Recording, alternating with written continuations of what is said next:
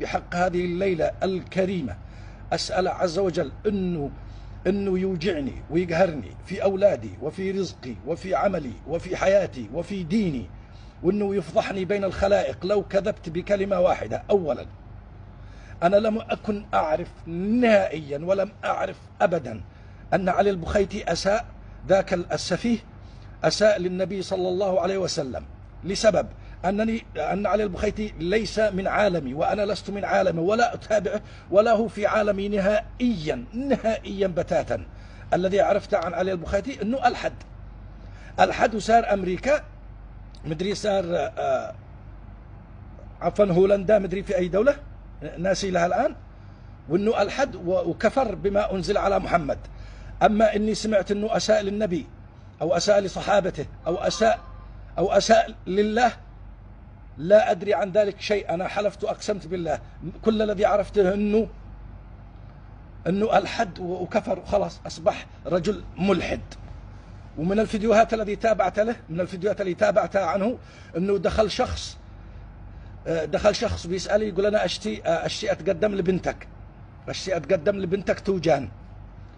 فقال له والله هذه حرية شخصية. إذا أنت أنت تكمل دراستك الفيديو موجود لا تقولوش إني بنألف. أو علي البخيتي إذا دخل هنا وشاف هذا البث وقال ان أنا أألف أو أن أنا أحاول أن أنا أسيء إلى شرفه ولا عرضه. قال قال بهذا النص رد على شخص صرت في فيديو. قال للشخص قال يا ابني أنت قد كملت الدراسة معك شهادة بهذا المعنى. كمل دراستك وبعد أجي وإذا جيت مسمى تواصل مع مع بنتي توجان وهي بعدين سد انت وياها. سد انت وياها إذا قالت تمام ها يعني تواصل مع هو ما له دخل في الموضوع ولا له دخل في الحسبة. الفيديو موجود في في في مواقع التواصل اعتبصروه هذا كل ما رأيت عن علي البخيتي أو في مواضع أو في مواضيع يتحدث فيها عن السياسة بالصدفة رأيتها في مواقع التواصل. النقطة الثانية. النقطة الثانية الناس الذي بيحبوني ويعرفوني عز المعرفة ويعرفون أنني لا أروج لعلي البخيتي ويعرفون أنني لا أحبه ولا أحب ما يصنع ولا أحب الفكر أو الطريقة التي يأتي بها أو, أو الفكرة الدخيلة الذي دخل علينا بها. ويعرفوني عز المعرفة. يعرفون أنني لست أتوجه لهذا المتجه ولا لي علاقة بهذا تماما. الذي زعلوا مني أني ظهرت معه. ظهرت معه. فأنا أقولها بكل شجاعة. والذي زعلوا مني والذي انجرحوا بسبب, بسبب أنه ظهر معي أو أنا ظهرت معي في بث مباشر. أقولها بملء الفاه ومن أعماق أعماق قلبي. أنا أعتذر من أعماق قلبي ومن روحي. لأني ظهرت مع علي بخيتي أو ظهر معي وظهوري معه لم يكن على دراية بما صنع أو ما قال في حق محمد صلى الله عليه وسلم. والذي قالوا ليش ما تدافع عن النبي؟ أنا لم أسمعه يتحدث عن الموضوع. وإن كان تحدث فرديه واحد لعلي البخيتي. خسرت خسرت النبي أولا. خسرت النبي صلى الله عليه وسلم وخسرت الدين الجميل.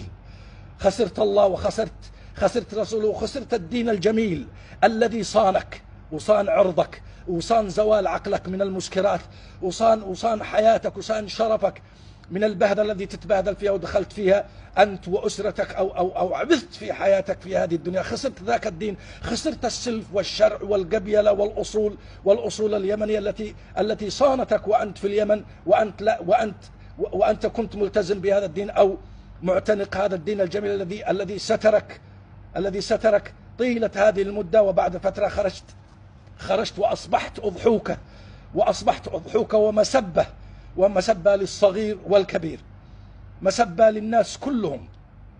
أنا أعتذر من أعماق قلبي أعتذر من أعماق قلبي للذين آه، جرحوا أو أخذوا نظرة خاطئة عن نبيل الآنسي أنا أتحدث باسمي لا أتحدث باسم علي حجوري ولا أتحدث باسم أي أحد. أتحدث باسمي أنا لأنني أحترم نفسي وأحترم الناس وأحترم ديني وأحترم محمد بن عبد الله وأحترم الله عز وجل. وأحترم مشاعر الناس ولا أحب أن أخدش حياء أحد. أعتذر للجميع على ذاك الظهور. ربما بلال أخذ نظرة سيئة وكان يعتقد بلال الشيخ بلال الزهيري أو غيره كانوا يعتقدون أنني أعلم بما صنعه علي البخيتي. عليه من الله ما يستحق. والذي في نفس الوقت أتمنى له الهداية. مثل مثل غير أي مرتد أي مرتد أو ملحد أتمنى لهم الهداية. مثل ما يتمنى أي رجل في قلبه ذرة رحمة ولا ذرة طيبة أنه الناس كلهم يدخلوا في دين الله ويرجعوا إلى ما رجعوا إليه. علي البخيتي الذي أصبح أصبح أصبح على كل لسان علي البخيتي الذي آه، ترك تركوه أغلب رجال الدين.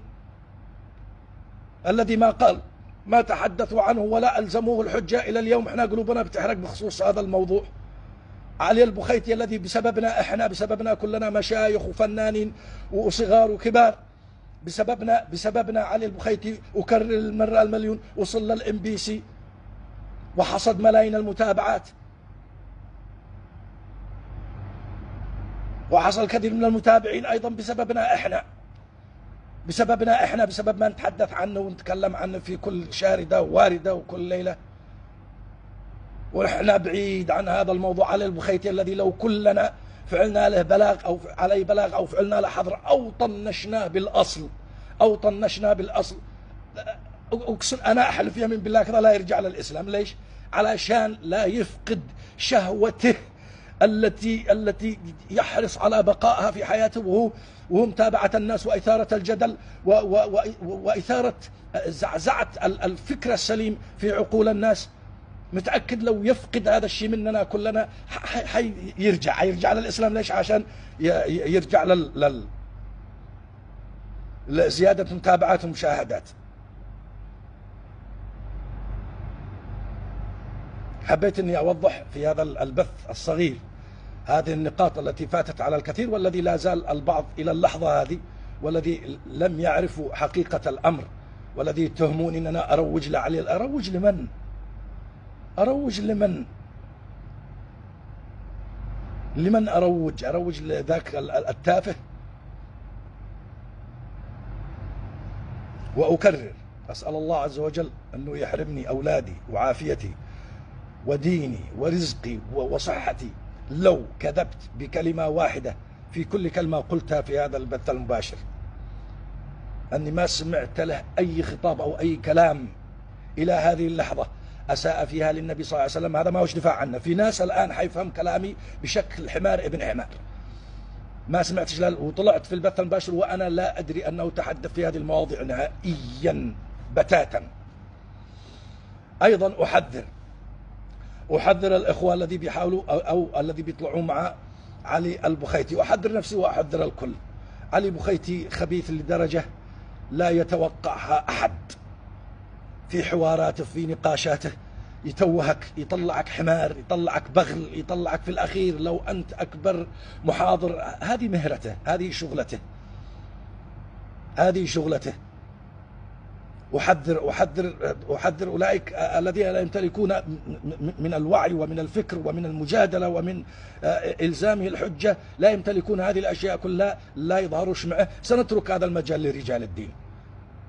سنترك هذا المجال لمن يستحقون ويقيموا عليه الحجة. أسأل الله عز وجل أنه يوفقنا بهؤلاء الرجال الذي يوقفوا عند حده. أكرر أكرر للمرة الثانية. أعتذر من أعماق قلبي لكي يفهم لكي يفهم ضعفاء النفوس الذين يتهموا نبيل الأنسي أنه طلع يروج لعلي البخيتي أو أنه يحبه أو أنه يمدحه. عن مديحه عن عقلية الصح يشهد بها الأعداء أعداء وكلنا أعداء يشهد بها. أنه ذكي. شهدت بهذا الكلام مدحت في هذا الكلام. ذكي. هو ذكي. ذكي بخبث. يعرف من أين يلعب. يعرف أين يضع قدمه. يعرف من أين يبدأ ومن أين يختم. ذكي جدا. لهذا أتمنى أتمنى أن الفيديو هذا يوصل للكل. وتشاركوه ويوصل للكل عشان الناس الذي بيحبونا وعشان الناس يعرفوا حقيقة الأمر ويعرفوا ما في النية. ما شيش أحد يدخل لا نية أحد. ما يجوز لأحد في, في, في الأرض قاطبة أنه يدخل في نية أحد. ما, حد ما حدش يعرف ما, ما في نية الناس. ما يعرف ما في النية إلا الذي خلقها. ما يعرف ما في النية إلا الله. أعتذر. أشد الاعتذار. ولن يتكرر هذا نهائيا بتاتا. الظهور مع علي بخيتي أو من هم على شاكلته. أعتذر من أعماق قلبي. وأوجه رسالة لعلي الحجوري.